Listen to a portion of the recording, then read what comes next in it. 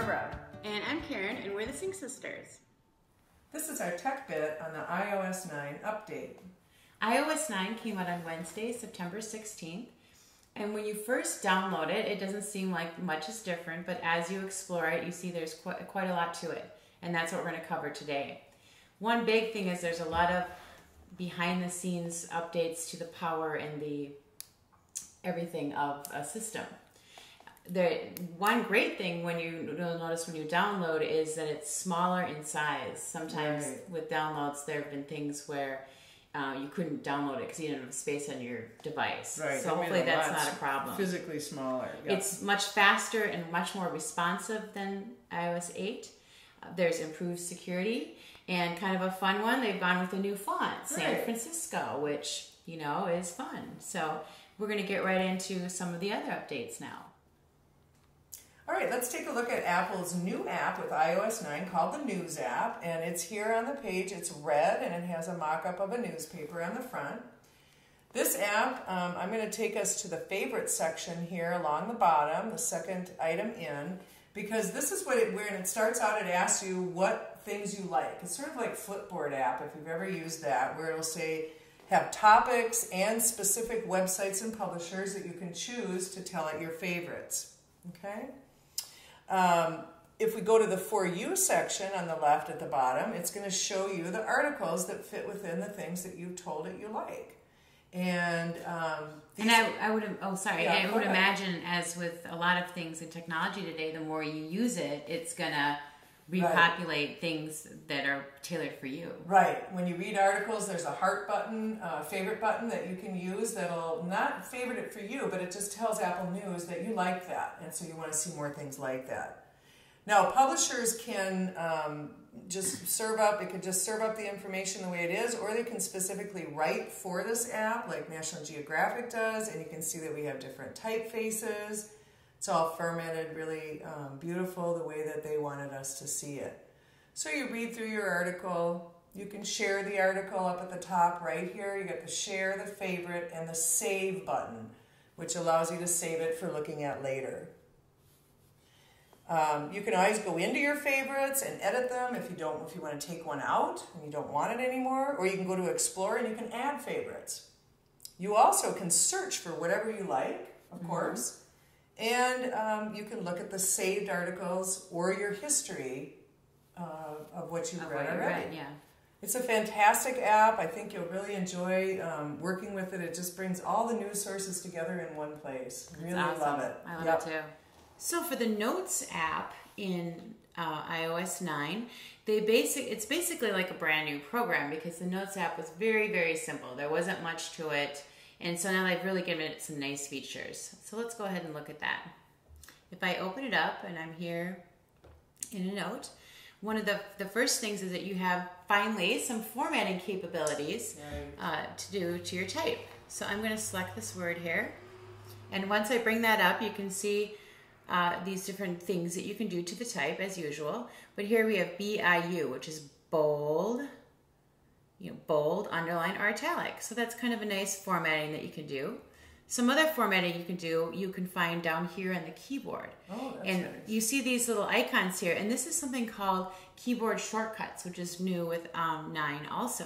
Mm-hmm. And they will be different from program to program what the shortcuts are. Right. But in this program, there's one here which is this A type. So if I click on that, uh, tap on that, you can see you can do some more formatting with some different kind of bullets too.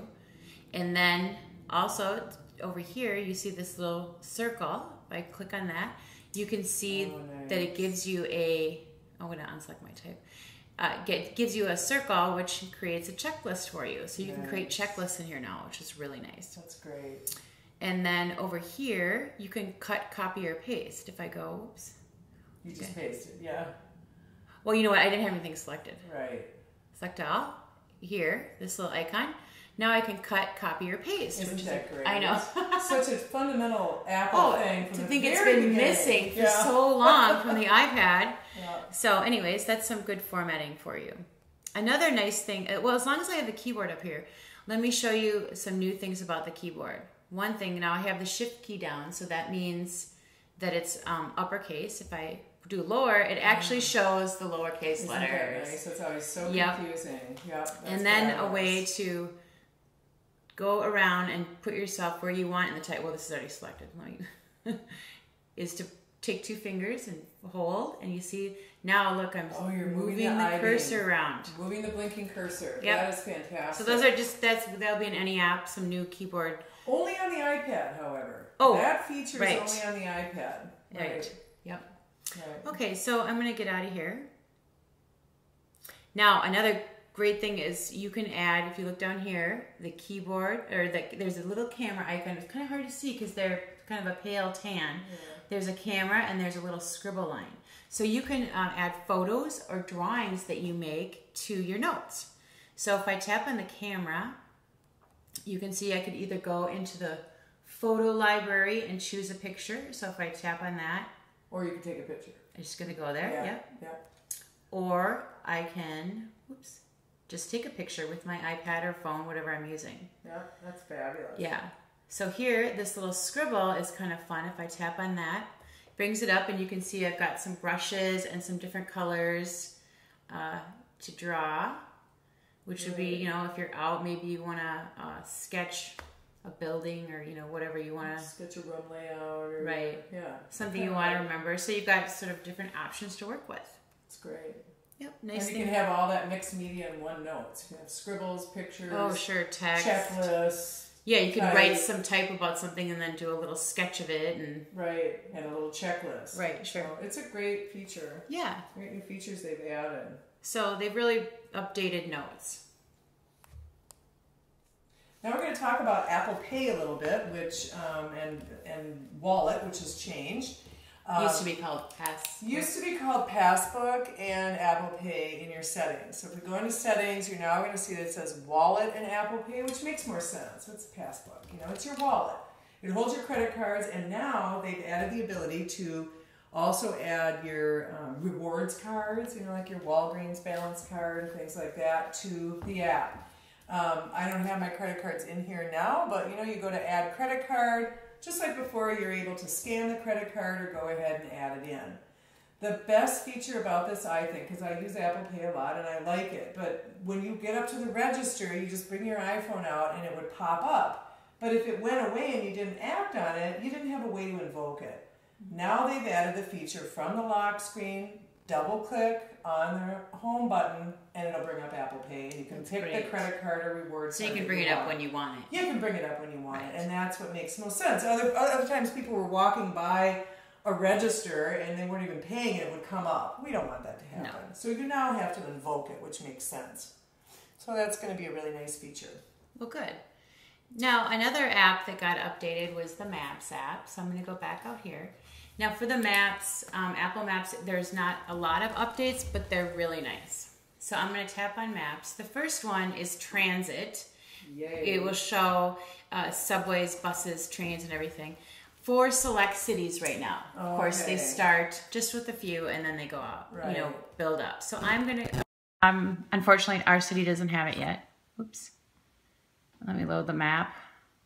I'm going to zoom out. Very slow. okay, that's going to.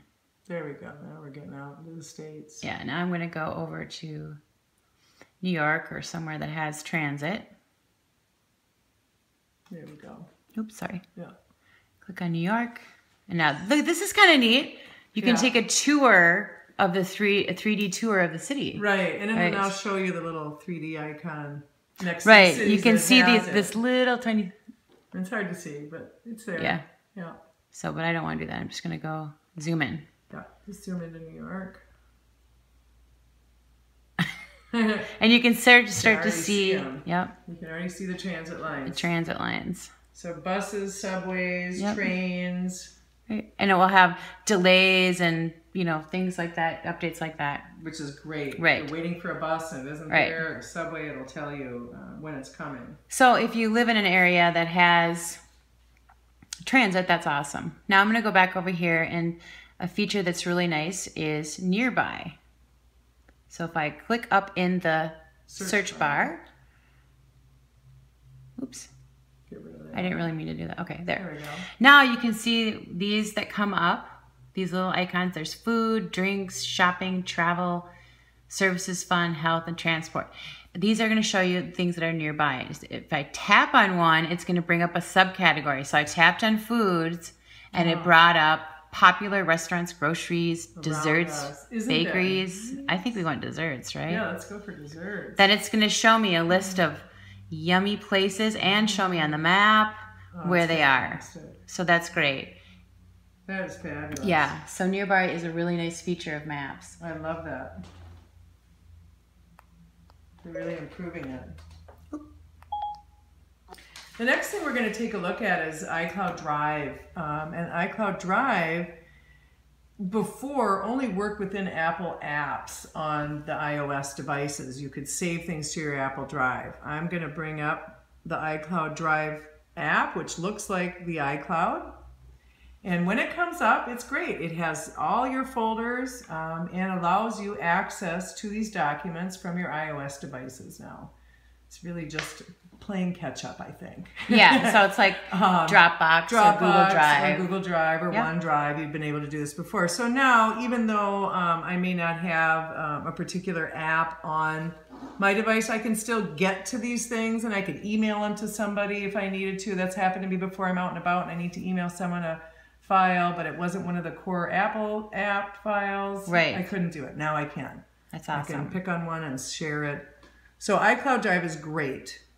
The updates are awesome. Yeah. Siri has been greatly improved with uh, iOS 9. She's smarter and much more responsive and really uh, intensified her searching abilities too. Right. So let's take a look at her because they really they've updated the interface, if you can see, which I think is kind of cool and fun, and it matches the Apple Watch now. If you have an Apple Watch that looks the same, Right. She's talking. And she's copying everything we're right saying. there we go. Okay, She's not going to so I'm going to get out of Siri there. Uh, and one thing that is really nice that you can do is use Siri to search your photos now. She can find photos for you, and it's quite complex the way she can do it. Let me show you. Siri, show me all my photos from last March. There we are. Oh, isn't that great? Yes. That's really nice. Or if you wanted to find Oh. all your photos from a specific Yep. date Yep. or location, Date, right? date, location, Yeah. year. Isn't yep. that great? It is nice. It's a fun, fun thing. Or, or by album. You know, Oh, if you had an album album too. created, you could say, "Show me, Oh, that's cool. you know, Kellen's eighth birthday party." oh, that's cool. yeah, That's great. yeah. A really wonderful feature is called Siri Suggestions. When you're on the home screen, if you swipe left, Oh, nice. it's going to bring up Siri Suggestions. It's called, and she's going to show you um, applications that you've had open.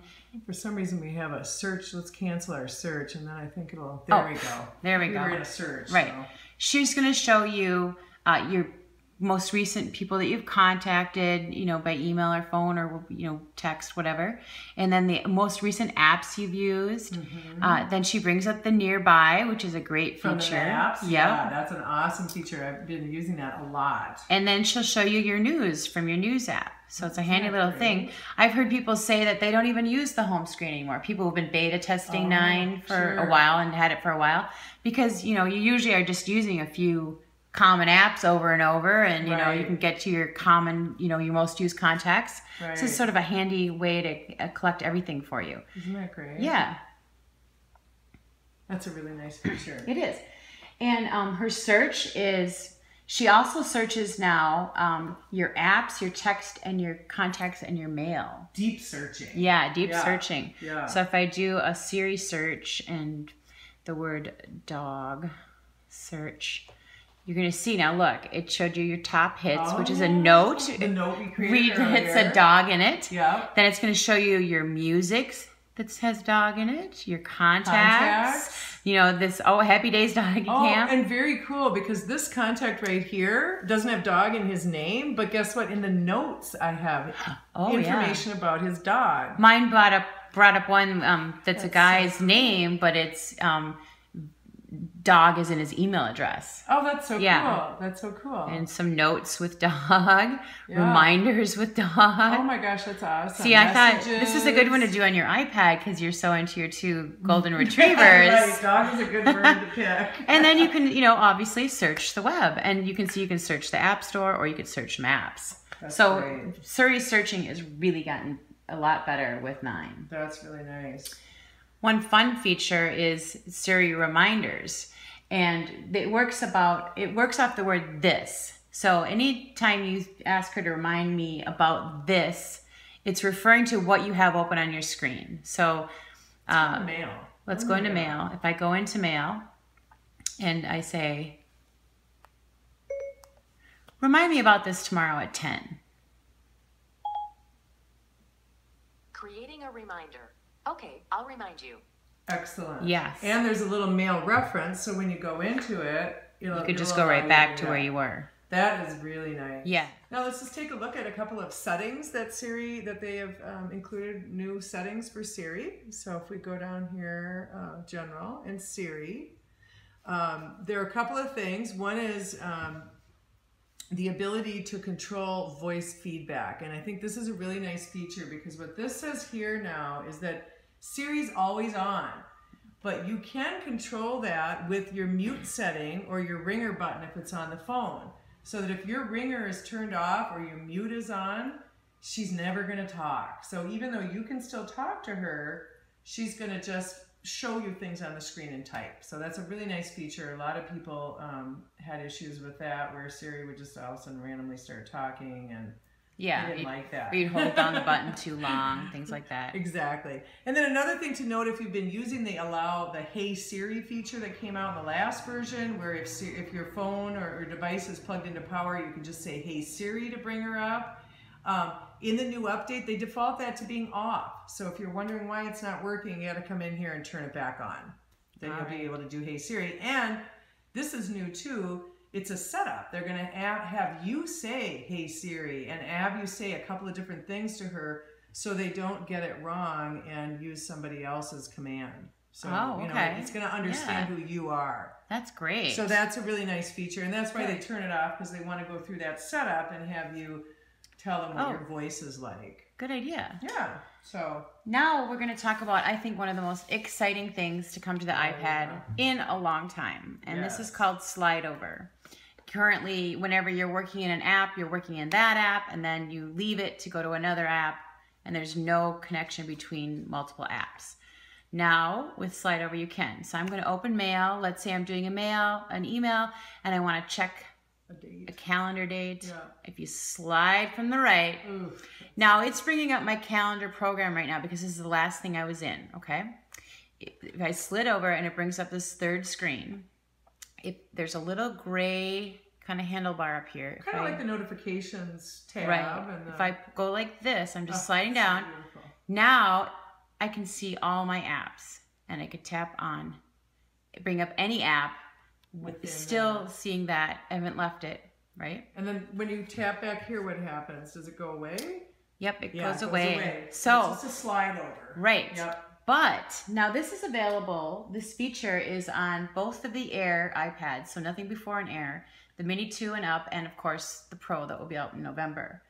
Something, if you have a Air 2 or a mini pad 4 and up, you can have another great feature, which if I do the slide over again, and then say, I, but I want to work in both. If I press and hold it and pull it over, Oh, cool. now I've got both programs open and I can work in both of them at the same time. Oh, and now you just brought up a yet another feature. that you can look at. I'm so smart. You clicked in the email. you just brought that up seamlessly. What she did was in she was in mail and tapped on the link in the mail, and it brought us into Safari. Okay. Oh, right. But now we want to go back to mail, and before you'd have to quit out of Safari and Oh, go back right. into mail. But now look in the upper left-hand corner, it says back to mail. Back and to if mail you tap on it, it's going to take you back to mail. Now So- we're in the mail program. Right. So anytime an app takes you into another app, like maybe you're in the calendar and you click on an address, it takes you into maps. You're going to see up in the upper left hand corner back to whatever app Yeah. you were in. Really nice feature because That is great. Usually, you don't want to leave it permanent. Sort of integration between apps is just skyrocketed with this update. It really has. It Yeah. really has. Yeah. It is fun. I really. I, it, I've already been using the slide over and the split screen, and it's great. What I love fun, it. What a fun feature. Right, and there's one more kind of fun little feature like that. Oh yeah, the picture-in-picture feature. So now we're going to get out of these um, apps and we're going to go into the video app, Apple's video app. If you are in the video app watching a video, let me bring it up by itself, and we're going to hit play here on the Aristocrats. um, if you are in Apple's video app or FaceTime, you get this little icon in the lower right-hand corner. It's kind of hard to see Yeah. but it's like shrinking the picture down. So I'm going to shrink it down, and now my video is running. And now I could like quit that program, and I could, you know, let's say I want to go back into mail and type an email while I'm watching a movie, I could Right. do that. Or if I'm FaceTiming with somebody, I want to check something in a program, I can do that. I can pick this up and move it around wherever it's convenient for me as I'm working in my uh, background. So it's a really nice feature. Yeah, I bet sports fans would like that. They can keep their eye on the game. Keep while your eye on the stuff. game while you're doing stuff. Yep, it's really awesome. Now you have to have an iPad Air or later, or an iPad Mini 2 or later to take um, control of this. And I, I kind of hope that they expand this and people like YouTube will Right. incorporate this in other video app programs like Netflix because it would be nice to be able to do it Sure. anytime you're watching Right now, it only Video. works with Apple's video Apple's or video FaceTime. program or FaceTime. Right. Great. Exactly. Okay, let's take a look at another um, enhancement that they made to the Photos app, which is really fun um, or nice. We would go into the Photos app. What you're going to notice is some new folders. Selfies. Oh, who doesn't love them? Who doesn't love selfies? There's one of me and my dog the other Yeah, day. yeah. Um, See, great. you and the dog. It's I, me see? and the dog. You're right. But it's great. It's going to put all the pictures that were taken with the forward facing camera in a folder called selfies. That is so great. It's really awesome. Um, it's also going to give you a folder for screenshots. Oh, how do you take a screenshot? Well, you take a screenshot by holding down the home button and the power button at the same time. Do it. Go ahead Oh, and you do me it. It'll blink. It blinks, and now you know Oh, you've done it, and it, it puts there. it right in the folder. So here are all the screenshots that have been taken on my on this Mm-hmm. device in, in itself. So that's a nice feature. Another um, really awesome feature, which everybody's going to love, is the ability to select multiple pi- multiple Pictures, at, a once. time. Yep. So, we're we tap mode. on select. Before you used to have to tap on everyone you wanted. Now you can tap and hold. That's awesome. That's great. And you can still do non-contiguous ones. You just pick your finger up and continue on. Right. Awesome. Really great That is feature. great. Yeah, people are really looking for that. There's also, if you go into settings, there's also, depending on which um, camera you have, which device you're using, you may see that you'll have some different speeds for video. Okay. So that's what they've added with, with photos. The other thing that's pretty nice, and we're to take a look at some miscellaneous things here. Let's go back into the settings app. And you know, if you were wondering where a certain setting was, I can't remember where to find that location thing, and I'm not sure what it's called.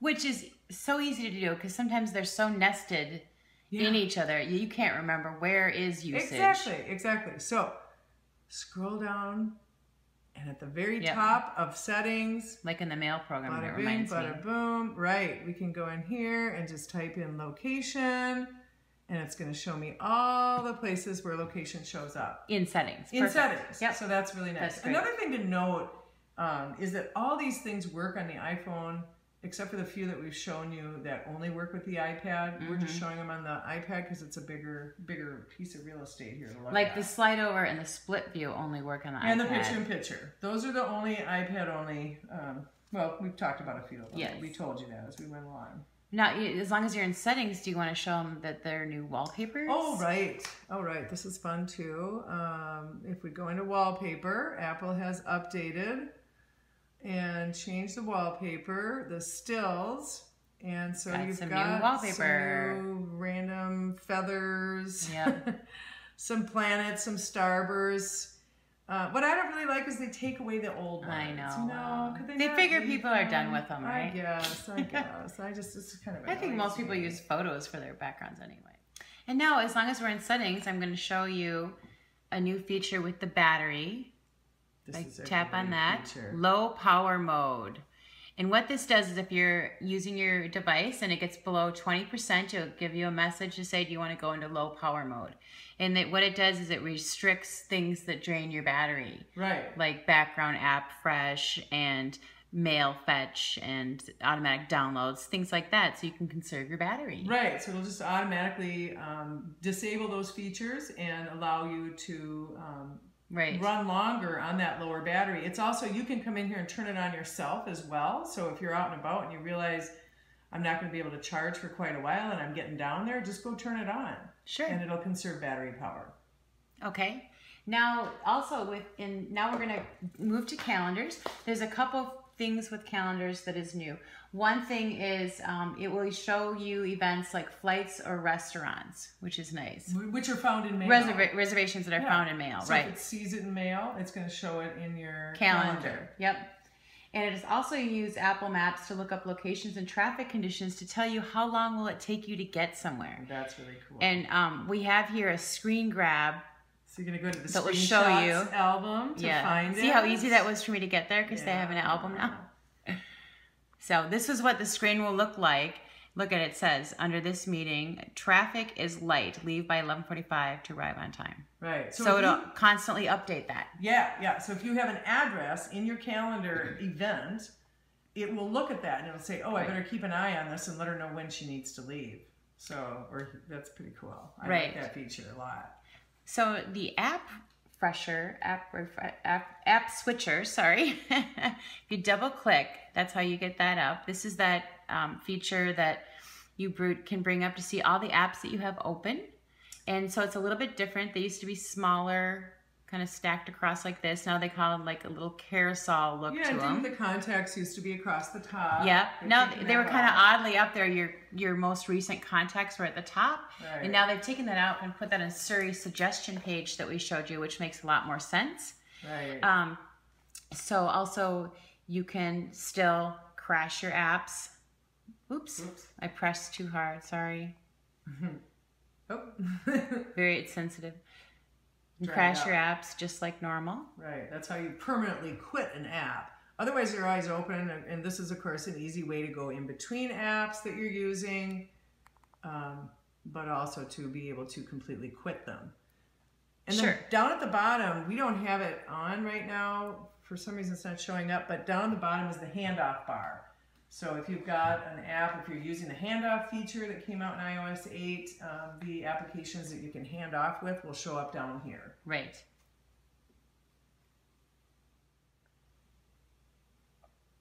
If you're one of those lucky people who gets to move from an Android to an iPhone, Apple iOS 9 has something great for you, and it's called it's called Move to iOS. It's an app you can download on your Android device, and it will walk you through transferring to your iPhone all your information. Um, it'll even even put all of the apps that will also work on your iPhone that you've been using on your Android into your wish list on the App Store on your new Oh, that iPhone. is so great. Yeah, so you can just go in once you've got it on there. You go into your iPhone, you go into the App Store, and all the apps that you used to use on your Android are in the in the wish list, and you can just download them. And finally, finally come over to the Apple Finally, world. come to the brighter side. Yep. So we've gone through all the new features of iOS 9, and you, um, we, I'm sure you want to update now. So there are two different ways you, you can do that. You can do it um, connected to Wi-Fi, and you can go into settings, into general, into software, and it will walk you through the steps to download. First, Right. download it and then install it. Gotta be If- on Wi-Fi, right? Right. Yep. If you want to do a, a faster way, you can plug your phone into your computer and through the iTunes store, it works a lot quicker because you're Right. not going over Wi-Fi. Right. It downloads It goes right from computer Apple, first, and then it right. So And uh, the models that can upgrade are a 4S iPhone or higher and an iPad 2 and higher. right. So I think you should just download it and start having some fun like we have been on iOS 9. Right. Enjoy, Sync Sisters Tech Bit. and please subscribe to our channel.